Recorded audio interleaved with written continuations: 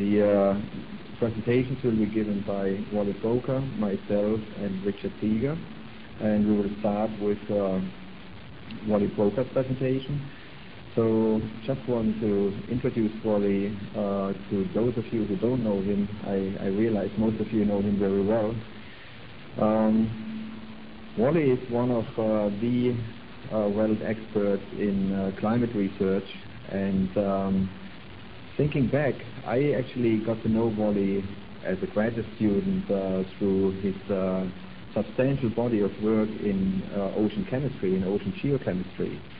And so at around 1981, when he came to, to Germany, where I was studying as on, on an award from the, Humboldt Foundation, he was sort of just in the transition to spending more and more time on climate and there specifically past climate with a focus on abrupt changes. Um, he stayed with this uh, since then, but uh, not neglecting all his other activities, including ocean geochemistry and geochemistry in general. Um, one of the the, the um, pieces of work of Wally that he's most known for, and, a lot of you might have uh, gotten to know him in that context is the so-called uh, Great Ocean Conveyor Belt, about which he first uh, published in the uh, Natural History magazine in the mid-80s, I think 86 or so.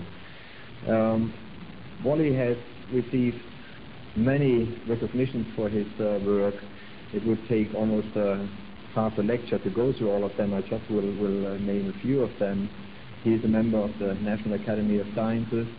Um, he uh, is uh, he was awarded the, Ewing Medal, uh, named after the founder of the Lamont Doherty Earth Observatory, Maurice Ewing, the Vetlesen Prize, the Blue Planet Prize, Tyler Environmental Prize, and the National Medal of Science, and so on. So we could we could go on for a long time.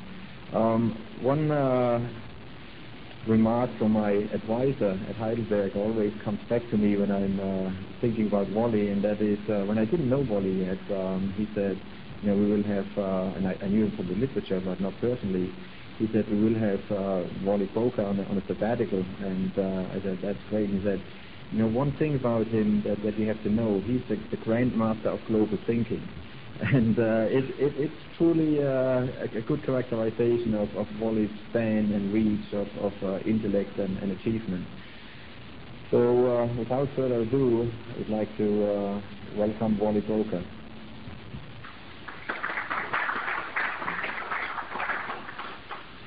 Uh, well, pleasure to be here. I I was away for a few days and I came into my office this morning and got an email about this, and I said, what the hell, I have to give a lecture this afternoon? I had totally forgotten. Peter said that he had gotten my agreement, which I guess he did, and, uh, but anyway, uh, I'm glad to be here. I haven't prepared particularly well, but um, I give lectures like this rather frequently, so I'm going to take pieces out of those lectures. I mean, uh, most of my work has been on paleoclimate of late, and we really have two ways to look into the future and see what global warming is going to do to us. One is using large computer models that simulate the impact of extra CO2 and the other is to um, look at the past record and see what kind of uh, um, lessons that it has for us. So I want to take the latter route. Richard Seager will take the former route and talk more about the models. Um, one thing we know about the models is that while they give a fairly consistent estimate of global extent of global warming, its average warming for the planet, as a function of how much CO2 we put in the atmosphere, uh, they disagree rather widely on the details of a given region. So we're not in very good shape about predicting rainfall in the Sahara or the uh, rate at which Arctic ice will melt or things like that. So the uh, record from the past is really useful. So I'd like to talk about two examples. Um,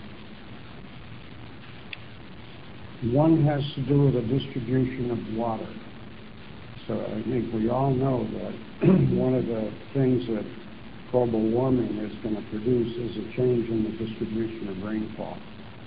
Overall, it may produce more rainfall, but the distribution of this extra rainfall will not be the same as today's rainfall.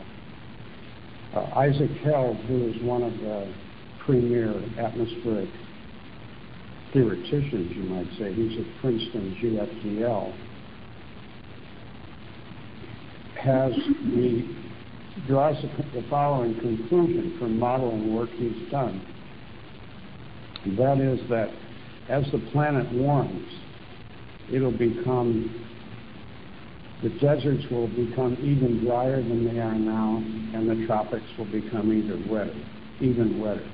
Neither of those things is particularly good. In fact, particularly if he's right about the deserts being drier. Places like the Sahel don't need to be drier, they need to be wetter. Um, so the question is, do we have any verification of that?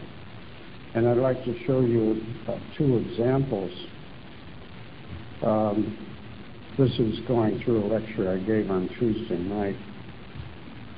Um, the first example comes from the medieval warm. About a thousand years ago, I think everybody agrees climate uh, was perhaps comparable to today's. There's sizable error on any way to re- reconstruct this.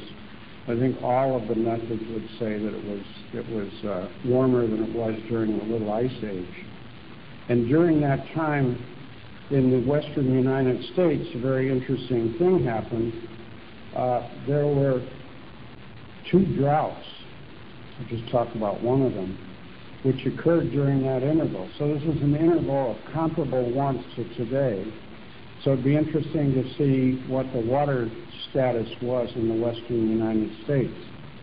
Well, a scientist uh, named Scott Stine, who's in the California university system, found an interesting way to demonstrate that during this time there were profound droughts. These were not minor droughts, these were major droughts.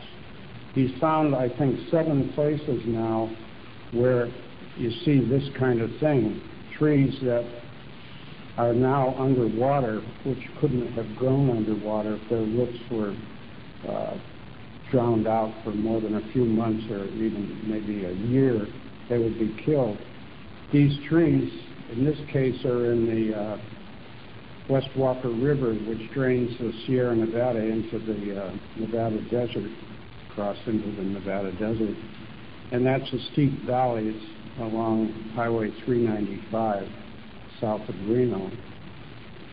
And these trees are all over the place. There's something like 87 of these stumps sticking up. And Scott noticed them during one, he'd driven through here many times and never seen them. And one August dry, uh, dry summer, he spotted them in the evening and he went down and examined them. And those trees have up to 150 rings. And that means that during that whole 150 years, that river was basically dry because if it ever looked like today for uh, even a few years, those trees would have been killed. And he has six other examples of that, all trees in swamps or lakes or uh, places where they could not now grow. And those trees can be dated by radiocarbons to say when they grew, and they grew during the medieval warm and they can be uh, the range can be counted to give you an idea how long the drought was. So these droughts were more intense and certainly far longer than today's.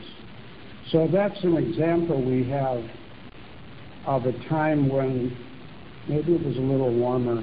Can't prove that. Maybe it was not quite as warm as now. But let's say it was a little bit warmer.